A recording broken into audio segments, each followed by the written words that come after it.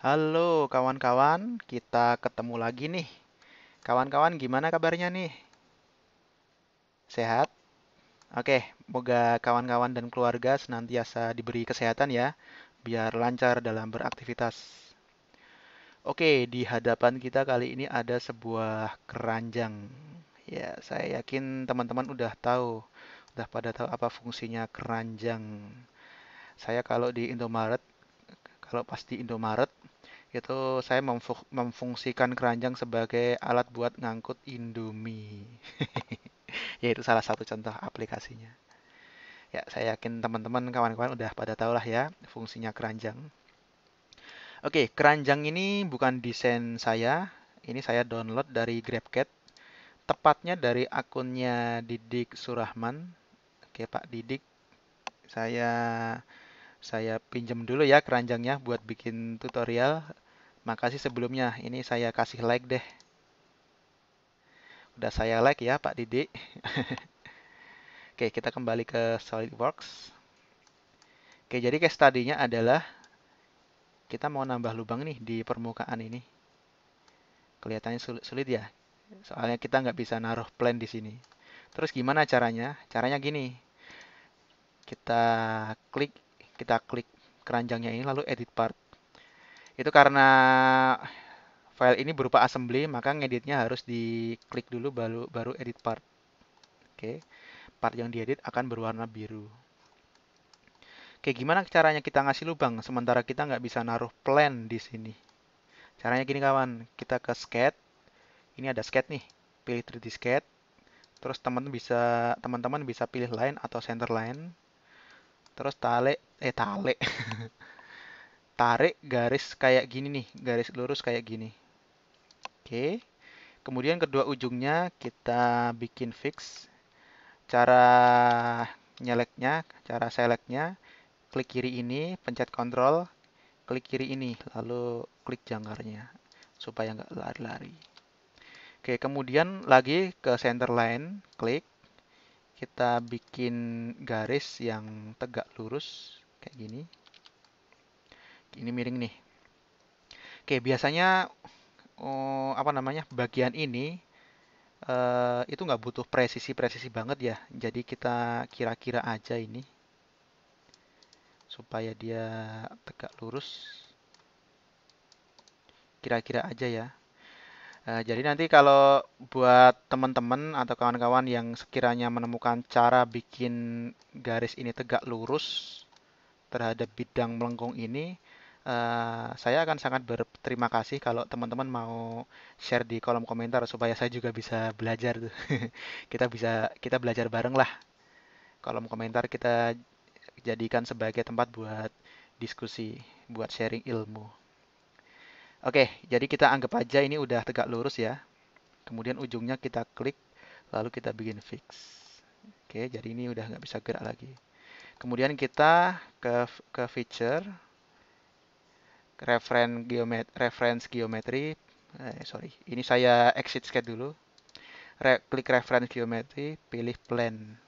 Lalu klik ini, ujungnya ini, dan ini batang garisnya lalu pencet OK atau centang.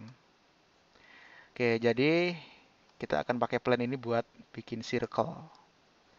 Kita klik kanan di plannya, klik sketch, lalu misalnya lubangnya diameter 6 misalnya.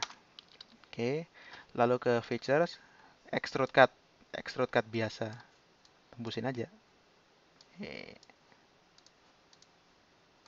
Udah. Udah jadi lubangnya udah ada nih. Oke, jadi kita udah berhasil ngasih lubang di sini. Oke, sekarang gimana kalau kita mau ngasih ke empat sisi nih? Ke empat sisinya nih. Oke, kita bikin kita bikin plan-nya nih. Caranya gini. Lagi ke sketch, ke 3D sketch. Pilih center line atau line. Lalu cari bagian ini, ini ketemu sama ini. Oke. Kita bikin fix. Lalu 3, eh, masih di 3D sketch, masih di 3D sketch. pilih center line, kemudian kita eh sip. kalau kayak gini plannya ke arah ke arah sini. Oke, biar plannya kayak ke arah sini, kita kasih titik aja di sini. Oke. Kemudian exit sketch. Lalu ke feature, reference geometry, klik plan. Klik titik ini sama garis ini. Ya, jadi kita mau bikin plan di tengah-tengah sini nih. Kemudian kita klik kanan plannya, klik sketch, eh klik sketch. Kita klik ya, plannya hilang ya. Kalau hilang ini gampang caranya, cara munculinnya nih. Ini ini ada ada simbol simbol mata nih. Ini ada panahnya di sebelah sini, kita klik plannya ini. Jadi kelihatan nih plannya. Oke, kita klik plan ini ke feature, Terus mana mirrornya ini? Ini, klik mirror. Pilih features to mirror. Pilih lubangnya ini. Nah, dia akan muncul di sini. Klik OK. Jadi lubangnya udah ada dua nih. Sekarang gimana kalau mau nambah yang di sebelah sini? Caranya gampang, kita bikin plan yang madep sini nih. Caranya kita ke sketch, 3D sketch, pilih line atau center line, bebas monggo. Lalu klik line kayak begini. Oke. Lalu exit sketch. Nah, habis itu ke feature, pilih reference geometry, pilih plan. Klik titik ini sama garis ini. Jadilah plan yang nyebrang ke sini. Oke, plannya ini kita klik, lalu ke feature, klik mirror, pastiin klik yang features to mirror, klik lubangnya ini sama yang satunya lagi klik OK nah lubangnya udah empat nih jadi empat sisi udah kita kasih lubang Oke, jadi kita udah berhasil uh, memberi lubang ke bagian tersulit.